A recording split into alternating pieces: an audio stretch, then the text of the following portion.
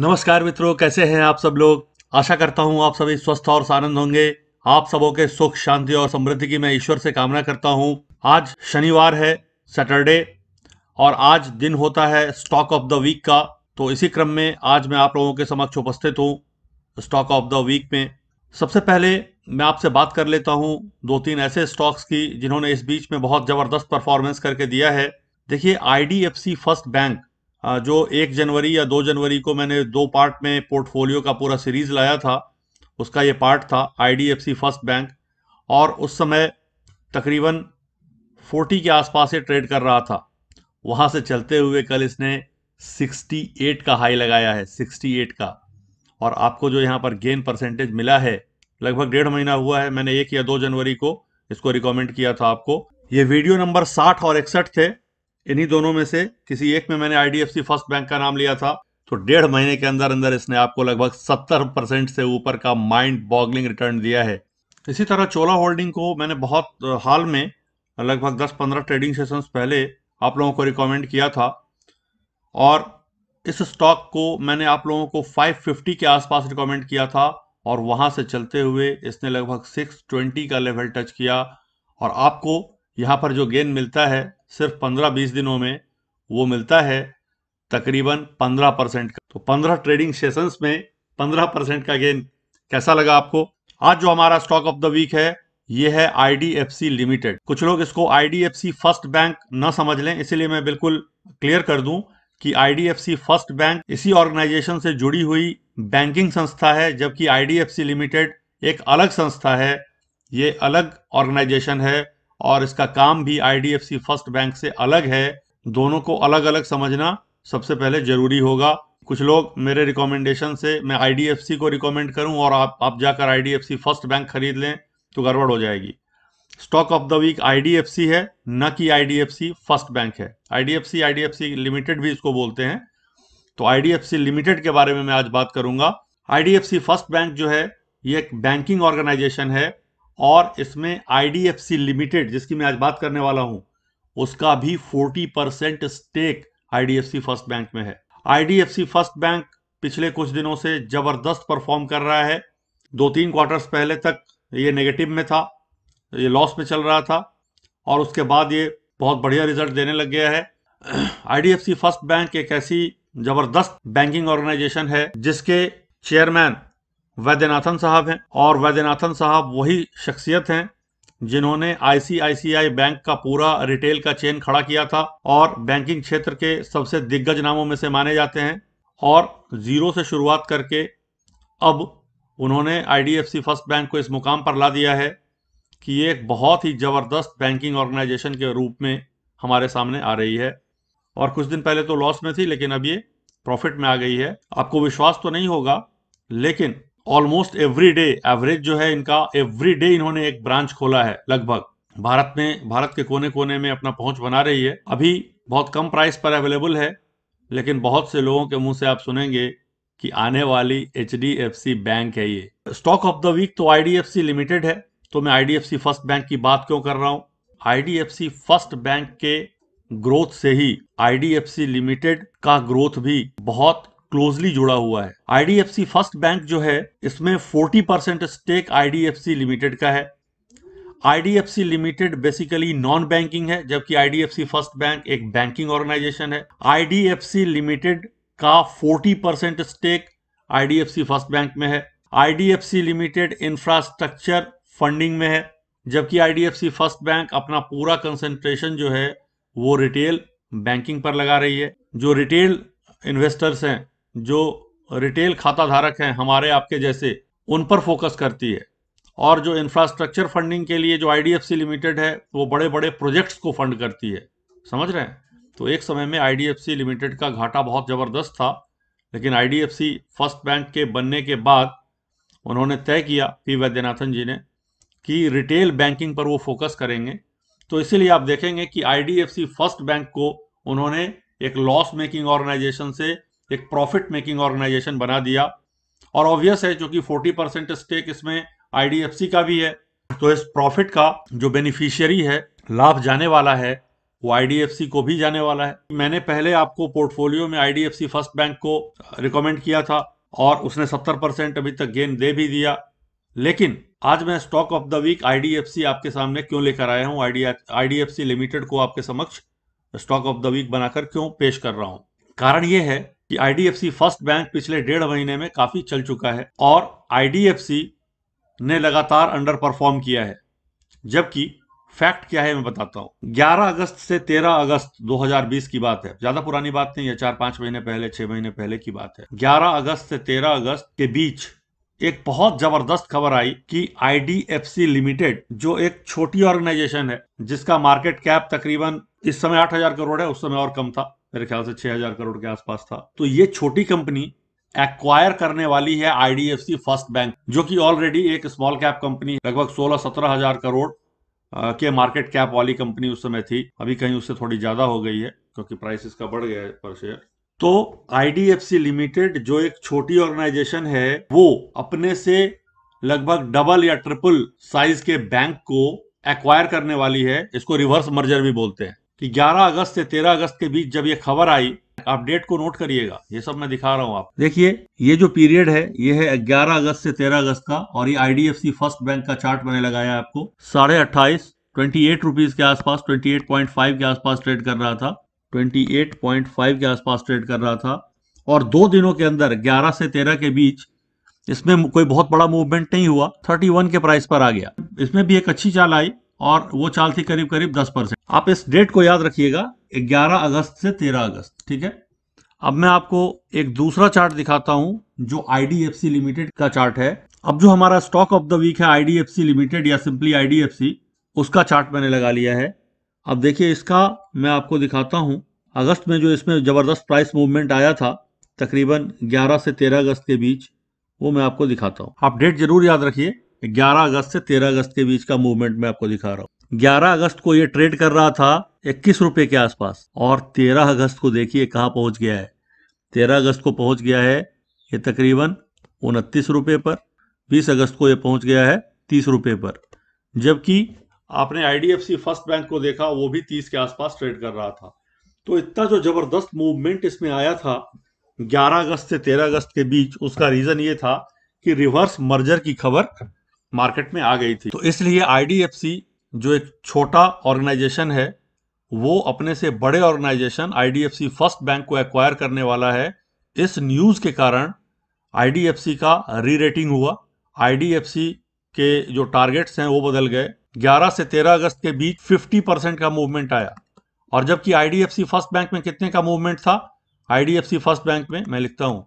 IDFC 50 percent और IDFC first bank इसमें movement था टेन परसेंट का।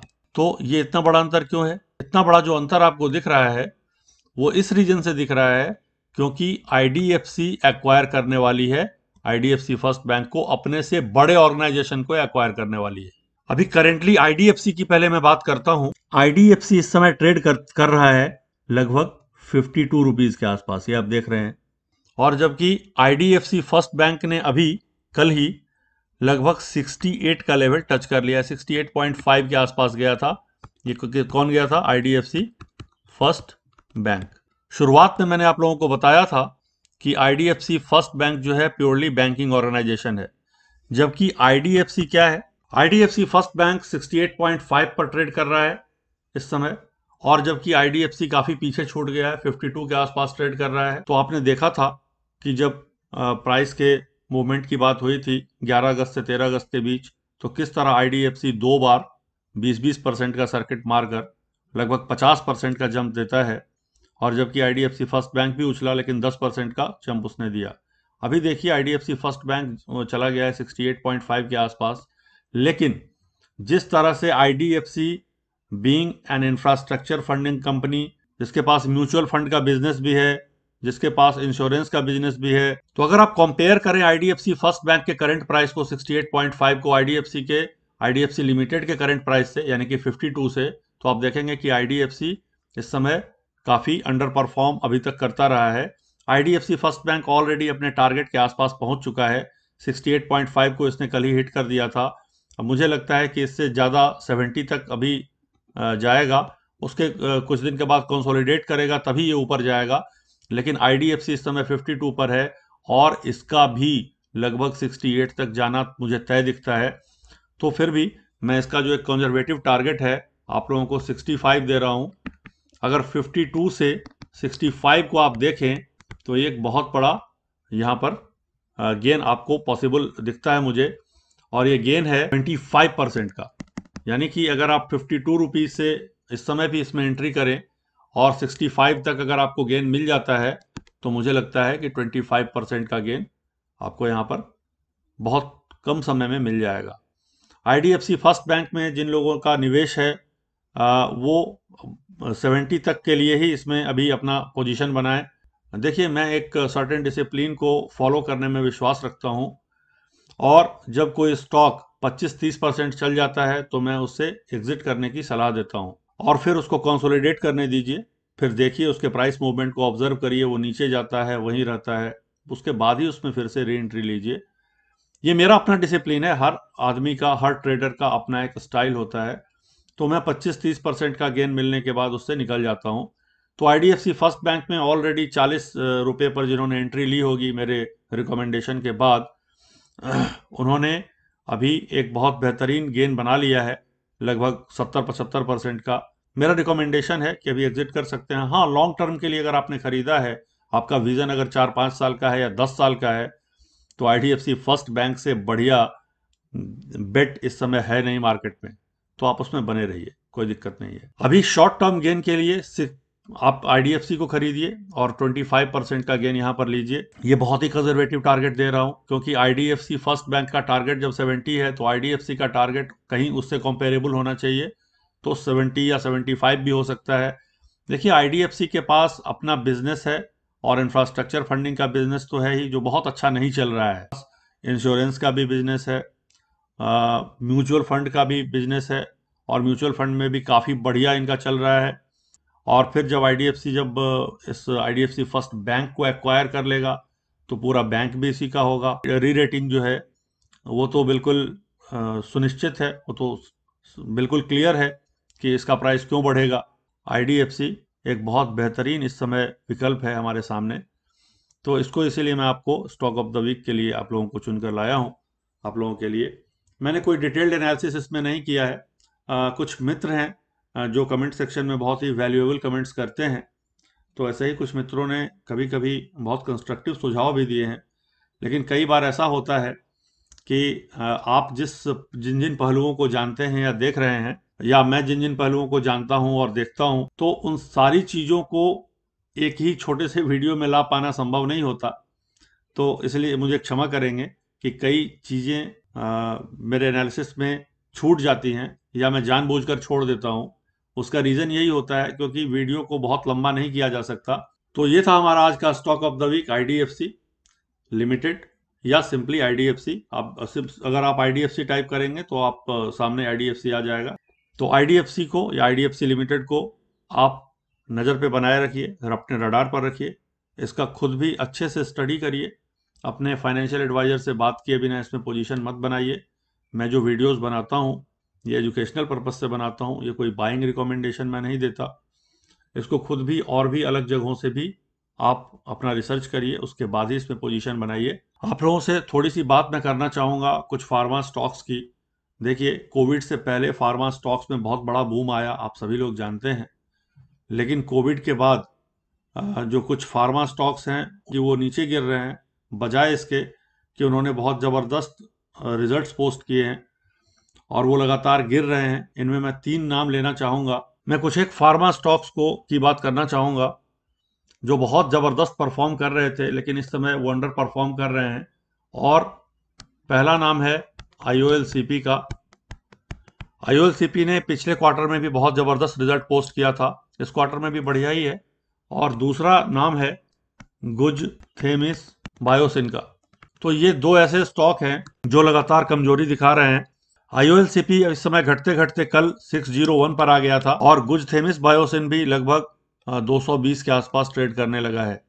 ये दोनों लगातार कमज़ोरी दिखा रहे हैं। मैं अपने सभी दर्शकों से, सभी श्रोताओं से ये आग्रह करूँगा, मेरा रिकमेंडेशन है कि इन दोनों से एग्जिट कर जाइए, क्योंकि ये आगे चलकर और भी बड़ा घाटा आपको दे सकते हैं।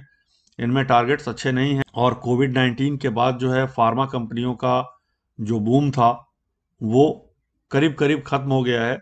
हाँ स्पेसिफिक कंपनियों में आप बने रह सकते हैं। तो उसकी उसकी चर्चा मैं एक दिन करूँगा कि फार्मा के कौन से स्टॉक आने वाले कुछ समय के लिए बहुत बेहतरीन आपको परफॉर्म करके दे सकते हैं। मगर इन दोनों से निकल जाइए और इन दोनों में अगर आपको लॉस बुक भी करना पड़ रहा है तो बुक कर लीजिए। आगे आने वाले समय में एक बड़ा लॉस हो जाए, आपका लॉस जो है लगातार बढ़ता जाए डबल हो जाए ट्रिपल हो जाए, उससे बेहतर है कि इन दोनों स्टॉक से आप बाहर निकल आइए। मैंने आप लोगों को कुछ दिन पहले एक अपनी घटना भी बताई थी कि कैपलिन पॉइंट लैब में मैंने समय पर, मैं चूँकि एक एक सही समय पर एग्जिट नहीं कर पाया, इसलिए मुझे एक बड़ा लॉस लेना पड़ा, लगभग पचास हज़ार का लॉस लेना पड़ा। लेकिन मुझे उससे कोई इतना दुख नहीं है, क्योंकि अगर मैं उस समय लगभग मेरा प्राइस जो था 595 के आसपास था और मुझे 500 के आसपास आकर उससे एग्जिट लेना पड़ा और फिर आप देखिए कि उसके नीचे भी वो चला गया लगभग 440 के आसपास। अगर मैं 500 पे एग्जिट नहीं करता तो मेरा, जो लॉस है, वो और भी कहीं बहुत बड़ा हो जाता। तो मैं अपने को इस तो मेरे इस लॉस से आप लोग भी सीखिए और आई ओ और गुजथेमिस बायोसिन से निकल जाइए। टाइटन बायोटेक की भी पहले मैंने चर्चा की है और टाइटन बायोटेक इस समय बूम ज़रूर दिखा रहा है। लगभग 120 पर आप लोगों को लेने को कहा था। वहाँ से लगभग 215 चला गया है। इनफैक्ट इस बार भी इसने आउटस्टैंडिंग रिज़ल्ट पोस्ट किया है, पर मुझे इस बात की आशंका है कि ये इस लेवल को सस्टेन नहीं कर पाएगा।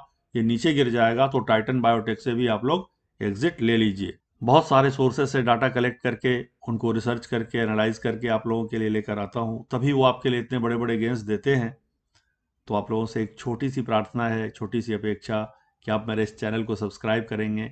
और अच्छा लगा हो तो शेयर करेंगे अपने मित्रजनों, परिवारजनों के साथ। इसको लाइक करेंगे और बेल आइकन को प्रेस करिए ताकि आपको रेगुलर नोटिफिकेशंस फ्यूचर में मिलते रहें। मिलता हूँ आप लोगों से एक ऐसे ही ज़बरदस्त वीडियो में कल फिर से। अपना ख्याल रखिए, स्वस्थ रहिए और खुश रहिए। बहुत बहुत धन्यवाद। जय श्री राम।